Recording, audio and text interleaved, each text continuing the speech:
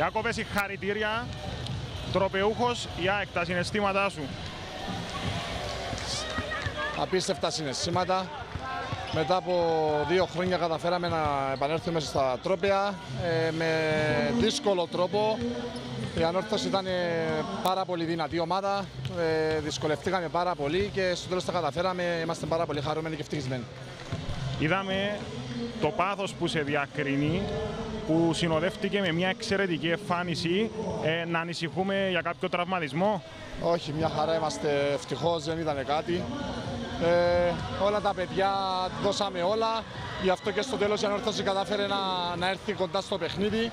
Ε, τα δώσαμε όλα και με τον κεραυνό και σήμερα και έτσι κατάφερε η Ανόρθωση στο τέλος να μας κοντέψει. Είμαστε όλοι καλά, είμαι χαρούμενος για τα παιδιά. Θέλω να το αφιερώσω αυτό το τρόπαιο στον Ανδρέα τον Χριστοδούλου, στον Quentin Σνάιντερ και στον πρώην πρόνοι μας τον Νικόλα Παπαδόπουλο γιατί όλοι αυτοί ήταν μέρος αυτής της ομάδας. Ευχαριστούμε πάρα πολύ.